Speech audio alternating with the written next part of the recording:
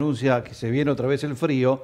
Y el tema de la vivienda como del abrigo es una preocupación constante y un problema de muchos, teniendo en cuenta que, por ejemplo, en las ciudades hay mucha gente en situación de calle y estas eh, temperaturas llevan a por allí a buscar la forma de cómo calefaccionarse. Y a veces, o muchas veces, no son las adecuadas. Claro y hay, hay un veneno silencioso que es el monóxido de carbono. Exactamente, y justamente ahora vienen todas las noticias y las malas noticias también que tienen que ver con justamente este monóxido de carbono y estos fallecimientos en departamentos, en ciudades, pero en todos lados puede llegar a pasar. Entonces, eh, es inevitable tener que calefaccionarnos, pero también el tener cuidado sobre ese tema. Y vamos a charlar, qué placer verlo, un hijo de Brickman aquí nació, aquí lo criamos y después dejamos que se fuera. Como que lo mandaron a, a Ramona y dejamos que, que, no venga se más, ¿no? fuera así, lo, lo extrañamos mucho, por eso lo repatriamos los viernes, Ah, lo, bueno. lo repatriamos aquí al doctor Iván Berra, a quien le damos los muy buenos días. Hernán, Andrea, te saludan para la televisión cooperativa. ¿Cómo estás, Iván? Hola Iván. Buen día, buen día Hernán, ¿cómo andan ustedes? Bueno, muy me alegro bien. La, verdad que me pone contento estar en contacto otra vez con gente de Bigman. Después de tantos años, alrededor de 20 años, volvemos a Bigman, eh, así que ahora estamos contentos. Estamos contentos con el trabajo y agradecerle a ustedes. ¿Cuándo estás viniendo aquí a Brickman, Iván? Yo voy martes, jueves y viernes. Bien. Eh, para, para tener que- en cuenta quienes eh, quieran eh, tener tus servicios en la clínica, ¿verdad? Sí, estoy en la clínica ahí con el doctor Smith. Eh, así que, bueno, fue una propuesta que tuvimos, eh, tuvo él, lo charlamos. eh, bueno, me agradó y la verdad estoy agradecido, porque la verdad, cada vez que salgo acá para viajar a Lima, uno se va contento. Claro. Me parece buenísimo. Vamos a la otra no- parte. Y no, sol- y no solamente, Iván, eh, cuando venías a Brickman, cuando te llamaba al banco de sangre, ahora podés venir también para atender. Hemos cruzado alguna vez. Bueno. Otro orgullo venido también al Banco de Sangre. Sí. Muy Hablemos bien, del tema muy que nos, que nos ocupa. Va- exacto, vamos al tema que nos ocupa y nos preocupa, que es lo que estábamos hablando recién en la introducción y decía Hernán, este veneno sil- silencioso y el tener los recaudos necesarios para esto. Contanos un poquito. Bueno, el tema sí, estamos en una época invernal donde es cierto, hace mucho frío, la situación económica hoy no ayuda lamentablemente a tener eh, las condiciones necesarias muchas veces para climatizarnos. Eh, he trabajado en villas donde vi, eh, lamentable, casas de chapa son, donde hace mucho frío, donde hace, hace mucho frío y la gente usa lo que tiene para calefaccionarse. Eh, hay que tener en cuenta que eh, la- la- el daño, la muerte que trae el monóxido de carbono eh, no son solamente en invierno. En invierno hablamos de monóxido de carbono porque es donde más ocurre. Durante todo el año ocurre la muerte por monóxido de carbono. Argentina tiene un promedio de 200 fallecidos por año por monóxido de carbono. O sea, que no es poco. Ah. Sí es verdad que se acentúa ahora. El tema es que el monóxido de carbono, al ser un producto que no tiene olor, eh, no tiene color, eh, no se ve, entonces es difícil de detectar.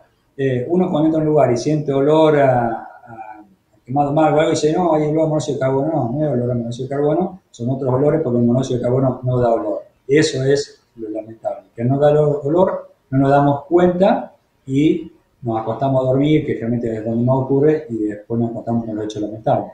Claro, ¿qué produce la inhalación? Para eh, explicarlo fisiológicamente en el cuerpo, ¿qué produce la inhalación de monóxido de carbono, Iván?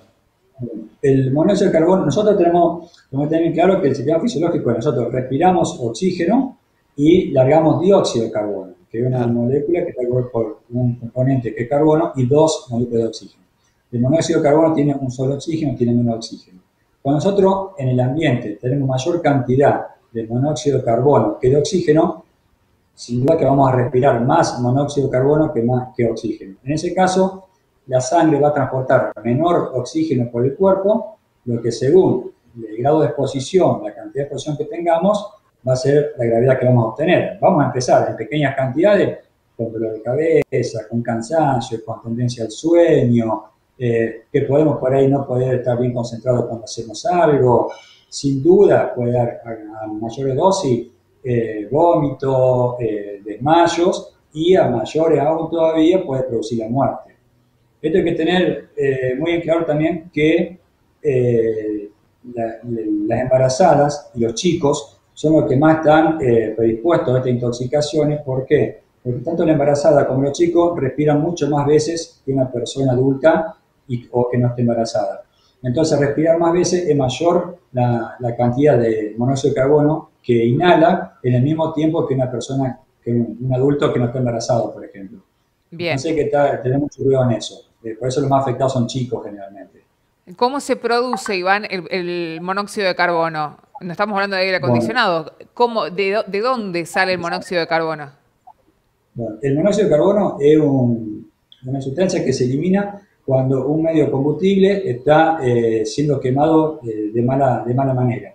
Un ejemplo, cuando para que haya una, una combustión buena tiene que haber oxígeno en cierta cantidad. Cuando hay poca cantidad de oxígeno, un ambiente mal ventilado, también eso, hace que eh, se queme mal, que queme mal, sea, no solamente son los braseros, son los calefones, son las cocinas, muchas cosas son las que producen monóxido de carbono. Mucha gente interpreta que se intoxica por monóxido de carbono porque tiene un casero adentro de, una habitación.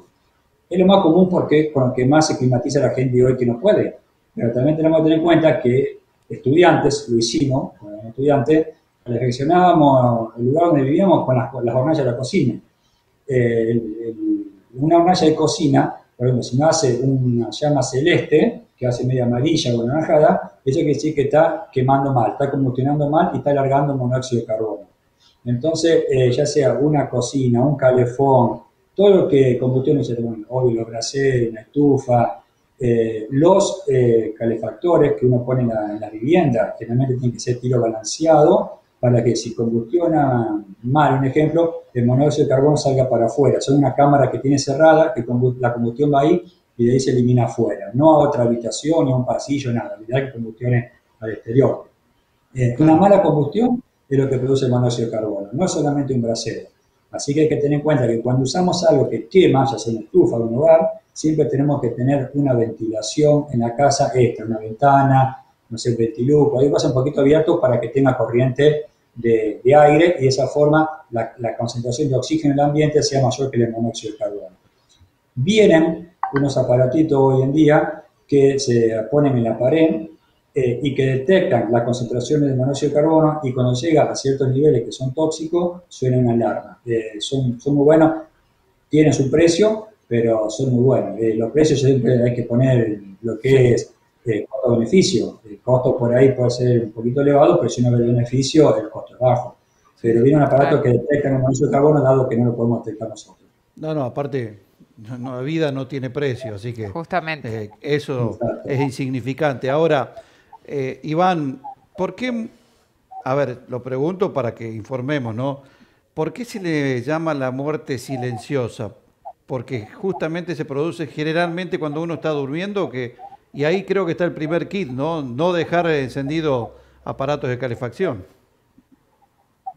Exacto. Eh, se llama muerte silenciosa por eso, porque va produciendo según la concentración o, el tiempo que estamos expuestos al producto, es la gravedad que vamos a tener. Si nosotros estamos expuestos un ratito, podemos tener dolor de cabeza, malestar, eh, un poquito más, podemos tener vómito, esas cosas, y exponemos más la muerte. ¿Qué pasa? Que si realmente pasa de noche, ¿por qué? Porque es cuando de noche cerramos todo y nos acostamos a dormir. Entonces, en haber ventilación, pasa esto acá. Sería, estamos dormidos, vamos inhalando, no nos damos cuenta porque no hay olor, no es que haya olor al gas, no hay olor directamente, uno no se da cuenta. Y se va, uno ya tiene sueño y con la falta de oxígeno en sangre, ese sueño se profundiza, no tenemos reacción, nada, y cuando nos damos cuenta es tanta la toxicidad que produjo el monóxido de carbono cerebral que va produciendo la muerte después, sería pues inconsciencia y después la muerte. Pero eh, se llama silenciosa por eso, porque es algo que no nos damos cuenta, no sentimos olor, no duele, no molesta, nada. Sí, cuando estamos despiertos, pues nos sentimos un poquito mal, medio mareado y por ahí nos damos cuenta y abrimos algo, nos paramos y nos movemos. Pero generalmente pasa en noche por eso, porque nos acostamos a dormir con un brasero, una estufa, un calefactor y no dejamos nada abierto. Eh, por eso hay que tener mucho cuidado en la ventilación. Es fundamental la ventilación en todo caso. Claro. Lo, mejor sería acostarse Nos tapamos bien, y listo. Tapamos bien y sin ninguna Sin ningún aparato encendido de Claro que sí. ¿no? Sí. Eh, es relativo porque nosotros tenemos, gracias a Dios, tenemos una, una vivienda que tiene pared ancha, comemos algo caliente a la Sí. noche, tenemos cierto abrigo. Hay gente que no tiene, hay gente que realmente vive en vivienda muy precaria y no tiene, y a lo mejor no está bien decirlo, pero es entendible que usen algo para calefaccionarse, sobre todo los chicos, por más que uno los tape o algo frío hace. Lo que sí hay que- que concientizar a la gente que traten de ventilar el lugar, de ventilar. El- Con solo hecho de ventilar, esto disminuye, eh, los riesgos se van. Lo que pasa es que a veces hace tanto frío que se la ropa y caliente más. Claro, bueno, y esto tomado a tiempo también eh, se puede salvar. O sea, ¿hay un tratamiento específico o directamente con ventilar? ¿Esto requiere de internación? Depende de la gravedad. Si nosotros eh, tenemos una detección temprana de la persona, por ejemplo, está con somnolencia, está con, con cansancio, con, con sueño, algo de eso, nosotros lo que podemos hacer es sacarlo del lugar, es ponerlo al aire libre, y eso muchas veces ayuda. En casos más avanzados, donde uno, por ejemplo, ve a la persona que puede estar inconsciente, el borde de inconsciencia, sí hay que internarlo rápido o por lo menos llevarlo a una ambulancia donde hay que administrarle oxígeno puro. Nosotros tenemos en cuenta que esa persona estuvo inhalando monóxido de carbono, o sea, poca cantidad de oxígeno y sí carbono. Lo que tenemos que hacer es revertir eso, y la forma de revertir lo mejor posible es con oxígeno puro. El oxígeno puro y la mascarita esa que se pone arriba de una ambulancia cuando el paciente está trasladado, o en las salas de terapia, o en una, en una guardia, cuando los chicos están cerrados el pecho, se hacen nebulizaciones con oxígeno. Es darle oxígeno puro para revertir rápido esa situación y que todos los órganos principales se. Pero si hay tratamiento, realmente con oxígeno, oxígeno y hidratación, pero sobre todo el oxígeno. Bien. ¿Puede dejar alguna secuela, digamos, una intoxicación con monóxido de carbono, que se agarre a tiempo, que le hagan el tratamiento, como dicen ustedes, de oxígeno? ¿Puede dejar alguna secuela en el cuerpo o no? Si lo agarramos a tiempo, hacemos rápido, generalmente no. Lo que pasa es que puede dejar, por más secuela, un caso muy eh, más grabado, en los chicos, generalmente en los chicos menores de dos años, menores de un año más todavía, que son cuando está el desarrollo cerebral y por ahí puede quedar una afectación por la falta de oxígeno en cierto lugar del cerebro, pero es raro, realmente si se agarra a tiempo con buena concentración de oxígeno, midiendo la saturación y todas esas cosas, generalmente no deja. Agarrar a tiempo. Bueno. Bueno, eh, eh, Creo que ha sido totalmente clarísimo. instructivo. Clarísimo y sobre todo, bueno, a tener en cuenta, y es cierto lo que decía usted, doctor Berra, que la situación socioeconómica no ayuda y nosotros podemos decir, entre comillas, ¿no?